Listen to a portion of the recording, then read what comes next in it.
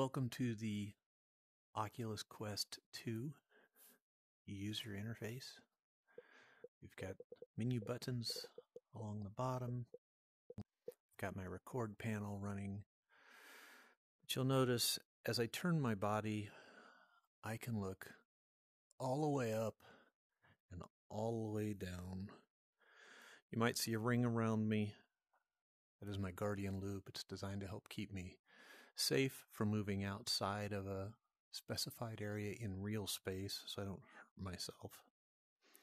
I'm still turning around just to give you the idea that we are completely immersed visually.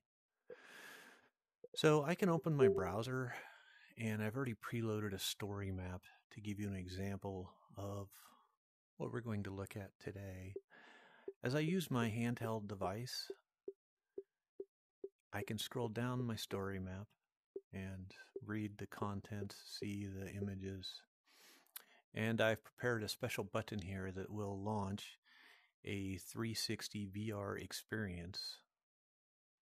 Pressing the button, it launches a new tab in my browser. And you'll notice that just as on the desktop, I can click and drag, although a little awkward in globe mode. We'll zoom in a little bit. And I can explore my 3D, sorry, 360 VR experience. Now you'll notice in the center of my screen, there is also a little white mask. This indicates to me that I can go full immersive mode or full VR immersive, immersive mode. So I'm going to go ahead and click on that mask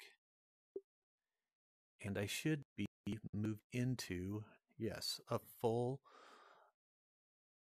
360 VR immersion. Now, in this particular case, I can't move the globe anymore because I can move my head around just as I explored my user interface before, I can explore my 3D scene.